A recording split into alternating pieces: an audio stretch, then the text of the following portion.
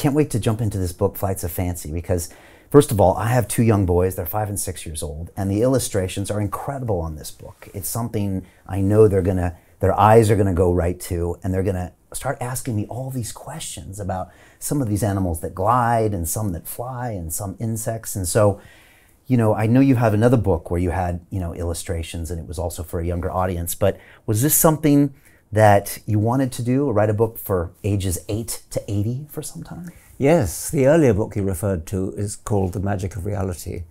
And uh, I, I, in, in, in that book, um, each chapter begins with, with a question, something like, what is an earthquake? Why do we have winter and summer? And uh, it, the chapter then begins with mythological answers to the question, myths from all over the world, and then it gives the scientific answer. And I thought I might do another volume of Magic of Reality. And the first chapter I thought of was flight. But then flight kind of grew into a whole book, which, it, which became Flights of Fancy. And I enjoy learning up all aspects of a subject, including the physics and the biology and the mythology, actually. And um, so, yes, that, that, that's how it got started.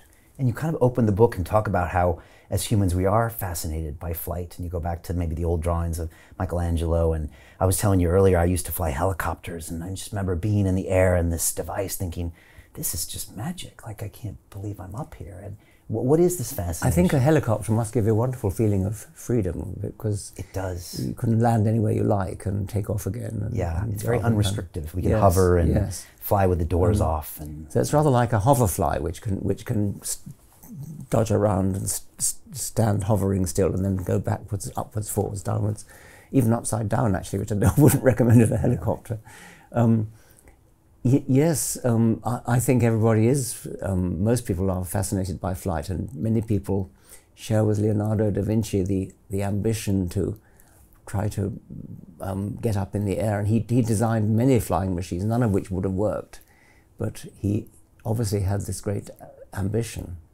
There's a picture in the book of one of his drawings. I think it looks like a hang glider, maybe. It looks like maybe an early version. Some of his things looked like hang gliders. He also had various flapping versions, what were called ornithopters, where the man in the in the harness was supposed to flap his arms and, and obviously trying to mimic a bird. That turned out to be the wrong answer. You can't do it by mimicking a bird. Right. You have to start from scratch. Um, he also designed a kind of helicopter which was an Archimedes screw, a, a, um, a, a screw that's supposed to screw itself into the air. And um, the motive power for that was four men with a capstan running round and round and round in, in a sort of runway. And of course, they couldn't, muscle power couldn't possibly generate enough right. power to, to, to, lift themselves. Um, but it, also, it had no um, stabilizing, what, what on a modern propeller is provided by the rear pr propeller. Otherwise, it just spins round and round and round, and that's all. Even if his machine had got off the ground, it would have just spun round and round and round. Yeah. Do you think if he had the materials and the electric motors in his lifetime, he might have been able to create something?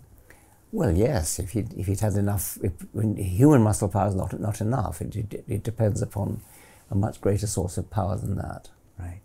And in the book, you kind of go through the hot air balloon, and and then we kind of see the Wright brothers and it's kind of fascinating to know that what six decades later now we're on the moon. I mean, it's, it's amazing. That's an astonishingly short time, actually, from the, from the Wright brothers to Neil Armstrong. Ridiculously short space of time. Yeah, yeah. I had my, my sons out and we were watching the moon and I was explaining the phases of the moon and I said, I said they put a man on the moon and they both look at me like I'm crazy. Like it's still almost inconceivable if you're a human on this planet to look up there and think, we put one of our people up there. It's a long time ago now. I mean, it, it, it, and it's, it's amazing that such a long time has elapsed since the, that time. Yeah, 60 plus years. I think they're going back. It's the latest. Yes, the, the, the mission was cancelled a, a couple of days ago. Hey, it's Brian Rose, founder of the DeFi Academy. I've told you my four week crypto bootcamp is amazing, but don't take my word for it. This is what my students are saying. The DeFi Academy was an amazing experience for me. It took me totally out of my comfort zone. In this course, I was challenged, I was held accountable, and pushed to do things that honestly weren't always easy. It's been phenomenal, and I can't believe uh, we're already up on our four weeks. It has flown by. Going through this DeFi accelerator by far was one of the best courses I've taken. You do this course, you really get into the nitty gritty of the activities that will make you comfortable with decentralized finance. Thank you so much to Brian and everyone at London Real and the DeFi Academy for even putting together an amazing course like this. Anybody else that wants to do it, please sign up. It is well worth the money.